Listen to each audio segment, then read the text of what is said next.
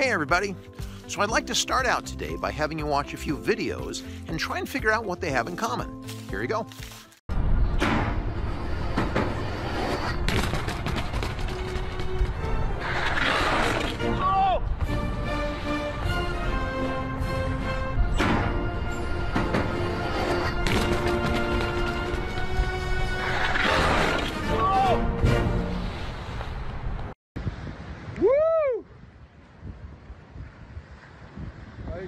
Kidding me?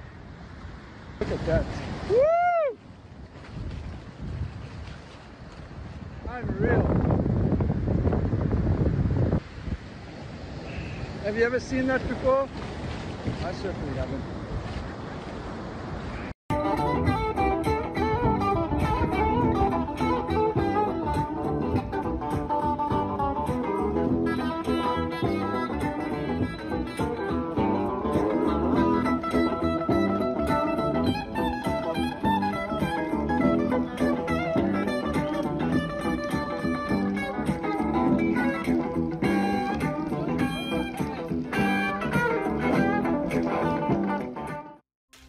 So one common thread that went through all of these videos is that in all of them somebody was in one way or another messing around. Now many times in schools, messing around gets a bad name because people will talk about it as an excuse or a get out of jail free card for a lot of things that happen. But as you saw in those videos, there's a lot of positive things that can come from messing around. Now one benefit can be that it is spontaneous or you don't know what's going to happen like with the dance with that guitar player or with the horse playing with the ball. Another benefit is that messing around can help bring people together.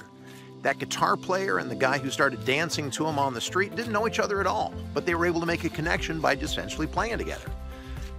A really important thing to remember here, though, is that something that's appropriate in one situation isn't automatically appropriate all the time.